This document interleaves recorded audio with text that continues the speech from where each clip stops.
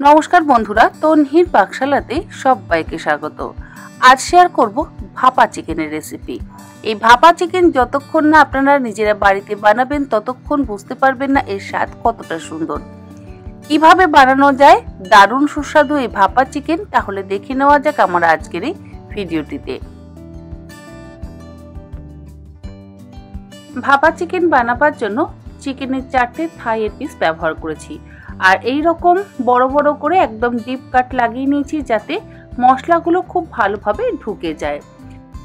এক একটা থায়ের পিসের ওজন সাড়ে তিনশো গ্রাম করে।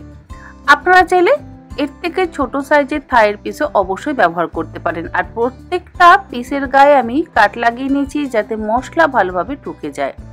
এবার গ্রাইন্ডিং জারের মধ্যে নিয়ে নিচ্ছি পনেরো কোয়া রসুন। তার সাথে দেব চারটে কাঁচা লঙ্কা, এক ইঞ্চি আদার টুকরো। ওয়ান ফোর্থ কাপ পরিমাণে ভাঙা কাজু ওয়ান ফোর্থ কাপ পরিমাণে মিল্ক পাউডার দেড় টেবিল চামচ পরিমাণে চার মগজ। চার মগজ কিন্তু অবশ্যই ব্যবহার করতে হবে। হাফ কাপ পরিমাণে জল ঝরানো টক দইয়ের জল দিয়ে একদম মিহি পেস্ট তৈরি করে নিলাম। এর মধ্যে জলের ব্যবহার করিনি টক দই ব্যবহার করব। আর টক দই ব্যবহার করবার আগে টক দইটার জলটা ঝরিয়ে দিয়েছি তার যে এক্সট্রা জলটা রয়েছে সেটা আমি এর মধ্যে ব্যবহার করলাম। একটা বড় পাত্রের মধ্যে সম্পূর্ণ মিশ্রণটা ঢেলে নিলাম।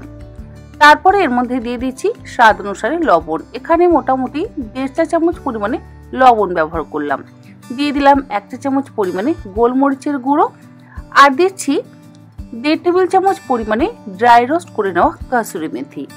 কাসুরি মেথি কিন্তু এর মধ্যে অবশ্যই ব্যবহার করতে হবে। কোনো রকম গরম মশলার গুঁড়োর ব্যবহার করছি না। কাসুরি মেথি দিলেই স্বাদটা বেশি ভালো হবে এবং গন্ধটাও ভীষণই সুন্দর হবে।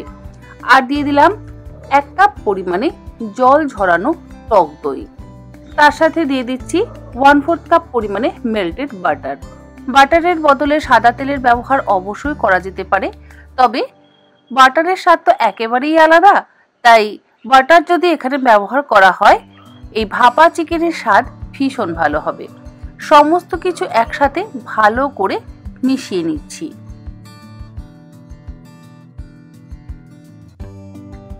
সমস্ত মশলা ভালো করে মিশিয়ে নেওয়ার পর চিকেনের থাইয়ের পিসগুলো মশলা দিয়ে ভালো করে মাখিয়ে নিতে হবে।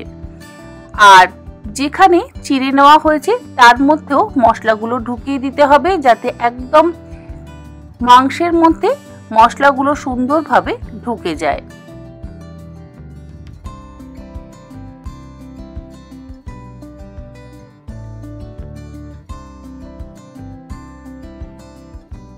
চারটে থাইয়ের পিসি একসাথে মশলা দিয়ে ভালো করে মাখিয়ে নেওয়া হয়ে গেছে। এরপরে একটা ক্লিন র্যাপ দিয়ে বাটিটাকে ঢাকা দিয়ে ওভারনাইট আমি নর্মাল ফ্রিজে রেখে দেব। আপনারা চাইলে তিন চার ঘন্টাও এটাকে নর্মাল ফ্রিজে রাখতে পারেন, আবার চাইলে সাত আট ঘণ্টা বা চব্বিশ ঘন্টাও কিন্তু রাখতে পারেন। যত বেশি সময় রাখা হবে, তত ভালো হবে। আর যদি হাতে সময় কম থাকে, তাহলে কম করে অন্তত দু ঘণ্টা ম্যারিনেট করে রাখতেই হবে যাতে মশলাগুলো চিকেনের মধ্যে ভালোভাবে ঢুকে যায়। আট ঘণ্টা নর্মাল ফ্রিজে ম্যারিনেট করে রেখে দেওয়ার পর ফ্রিজ থেকে বের করে কিছুক্ষণ বাটিটা নর্মাল টেম্পারেচারে রেখে দিয়েছিলাম। তারপরে মোটামুটি কুড়ি মিনিট পর আমি এগুলোকে একটা অ্যালুমিনিয়াম ফয়েল পেপার দিয়ে মুড়ে নিতে হবে। এক একটা চিকেনের থাইয়ের পিস এক একটা বড় বড় অ্যালুমিনিয়াম ফয়েল পেপার দিয়ে মুড়লে ভালো হবে। আর যদি আপনারা অ্যালুমিনিয়াম ফয়েল পেপার ব্যবহার করতে না চান, তাহলে কোনো বড় টিফিন কৌটোর মধ্যে ভরেও কিন্তু এই ভাপা চিকেনটা আপনারা অবশ্যই করতে পারেন। আর এমন না যে এরকম বড় সাইজের লেগের পিসই ব্যবহার করতে হবে, তবে অবশ্যই থাইয়ের পিস ব্যবহার করবার চেষ্টা করবেন। যদি বোনলেস পিস ব্যবহার করেন, সেক্ষেত্রে চিকেনগুলো সফট হতে একটু সময় লাগবে।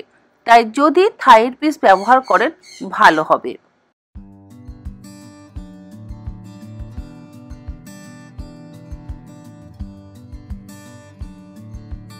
অ্যালুমিনিয়াম ফয়েল পেপার দিয়ে ভালো করে চিকেনের পিসগুলোকে মুড়ে নেওয়ার পর, একটা বড় পাত্রের মধ্যে দিয়ে দিলাম বেশ কিছুটা পরিমাণে জল। এখানে আমি মোমোর স্ট্যান্ড ব্যবহার করছি। আপনাদের কাছে যদি মোমোর স্ট্যান্ড না থাকে, আপনারা কড়াইয়ের মধ্যে বা টিফিন কৌটোর মধ্যেও কিন্তু এই ভাপা চিকেনটা অবশ্যই বানাতে পারেন। একসাথে তিনটে ভাপা চিকেন আমার করা সম্ভব হচ্ছে বলে তিনটে একসাথে দিলাম, পরে আর একটা করব। চিকেনের পিসগুলো পাত্রটির মধ্যে রেখে পাত্রটা ঢাকা দিয়ে ওই গরম জলের পাত্রের ওপরে বসিয়ে গ্যাসের ফ্লেমটাকে হাইতে করে দিয়ে প্রথমে 10 মিনিট আমাদের ভাপিয়ে নিতে হবে।